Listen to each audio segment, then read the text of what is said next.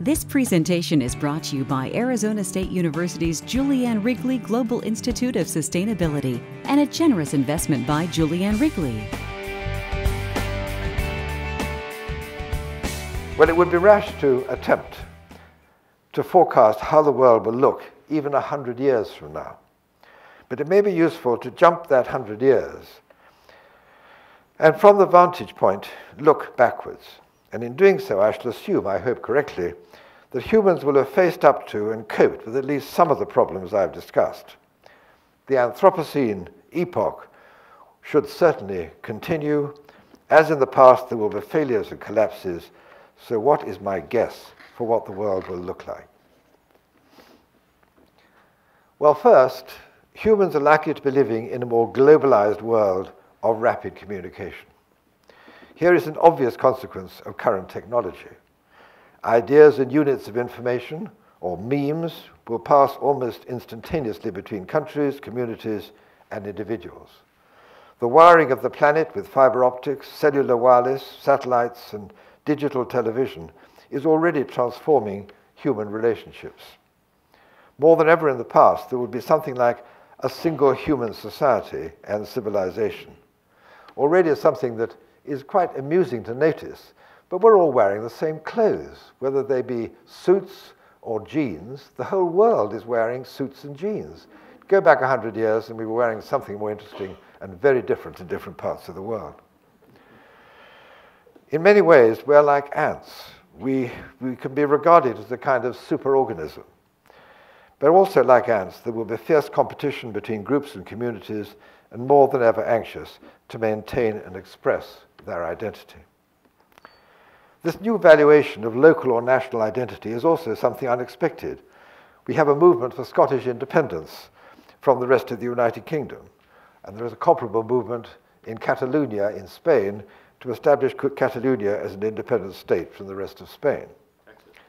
Another product, another product of local feeling is the widespread movements of intermittent protest against existing elites of whatever kind. This sort of protest can be seen in new shareholder mobilization against corporate management, worldwide discontent with autocratic regimes, particularly in the Middle East, and demonstrated there very clearly in the last little while. And here, new technology is crucial. The effects of increasing distribution of mobile telephones, as I've said, are enormous and they've yet ready to be fully understood.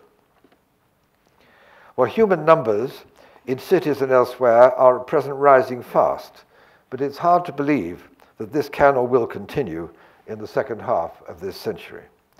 By 2113, remember I'm still looking back from 100 years, in 2113, our numbers will almost certainly be substantially less. There are signs of this happening already. Some people will live longer, bringing its own train of problems, including, for example, employment. Their distribution will be different. Women will have a more important role. In many parts of the world, they are already achieving their long deserved equality with men. And this will have enormous effects on the management of society. It has been suggested that an optimum population for the Earth in terms of its resources would be nearer to 2.5 billion rather than as now 7 billion or even 9 billion by mid century. Next, communities are likely to be more dispersed without the daily tides of people flowing in and out of cities for work. Current obsessions with so called growth and ever increasing consumption will be replaced by the need to make better use of resources, respect the natural capital of the earth, a very important concept, and measure health, wealth, and welfare in a more rational way. We've been talking a little bit about this in the last few days. Application of new digitized technologies is already changing the character of manufacturing agriculture will be more local and specialized with greater reliance on hydroponics. Energy and transport systems will be, in my view, decentralized. Archaeologists of the future may even wonder what all those roads were possibly for. on the one hand, some humans may thereby be liberated from many current drudgeries. Houses may be able to clean themselves, robots will produce meals on demand, cars may drive under remote instruction and evolution of desirable characteristics could even be automated. All, of, all this seems hardly imaginable when so many, so many still have to trudge miles to collect fuel, wood, and water. On the other hand, humans could well become dangerously vulnerable to technological breakdown and thereby lose an essential measure of self sufficiency. Fewer people will produce more, and the character of employment will change radically. And all this raises questions about evolution. Changes are already taking place in the human organism, for example, in resistance or lack of it to certain diseases. Bacteria may have been defeated in many cases by antibiotics in the last few years, but they now seem, seem following a good Darwinian prescription, to be adapting themselves for a strong fight back. As Lord Rees observed in a Science magazine of 8 March, synthetic biology offers huge potential for medicine and agriculture, but in the sci fi scenario where new organisms can be routinely created, the ecology and even our own species might, long, might not long survive unscathed. Now, these problems may seem a long way away, and let us hope without, without total confidence that by 2113, humans will have worked out and will practice an ethical system in which the natural world has value not only for human welfare, but also for and in itself. The human, the human superorganism must take its place along other superorganisms. Well, the penalties for failure to respect the natural world are enormous. Plants may not have brains, but they have an amazing sensitivity to the behavior of other organisms, well explored in a recent book, which many of you may have seen, entitled What a Plant Knows.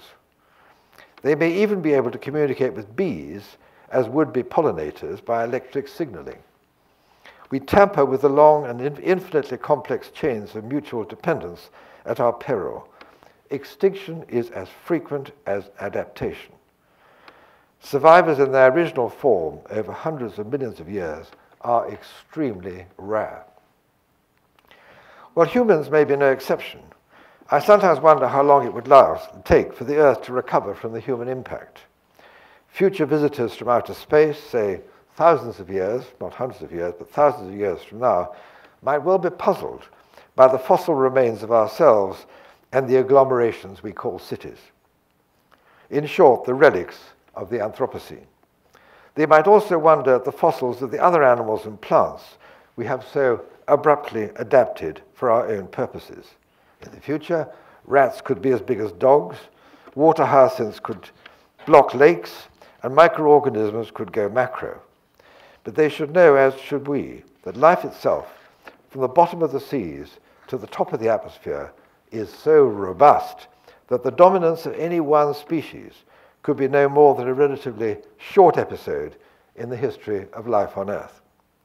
Above all, we must recognize how small and vulnerable we are as members of a particular species in a particular environment at a particular moment in time. Let us, ladies and gentlemen, enjoy it as best we can for as long as we can.